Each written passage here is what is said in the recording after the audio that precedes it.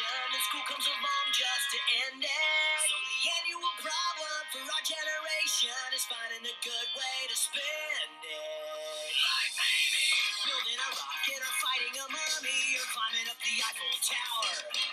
Discovering something that doesn't exist or giving a monkey a shower. Surfing tidal waves, creating nanobots or locating Frankenstein's brain. It's over here. Finding a dodo bird, painting a continent or driving our sister insane. As you can see, there's a whole lot of stuff to do before school starts this fall. Come on, Perry. So stick with us, cause Phineas and Ferb are gonna do it all. So stick with us, cause Phineas and Ferb are gonna do it all.